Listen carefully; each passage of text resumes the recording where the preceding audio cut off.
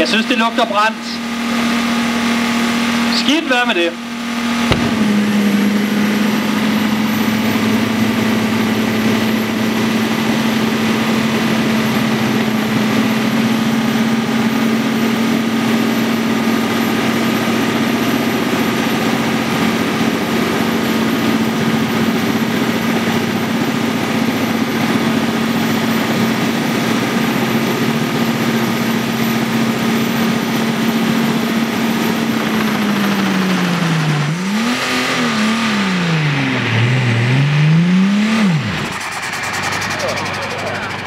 Pause!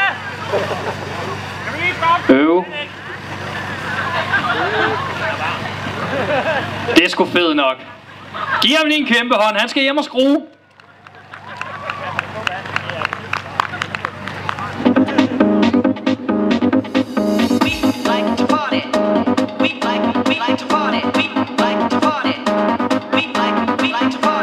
Hvis jeg kender de drenge ret, så kører den igen i morgen. Måske ikke i morgen formiddag, men så i hvert fald lige over middag.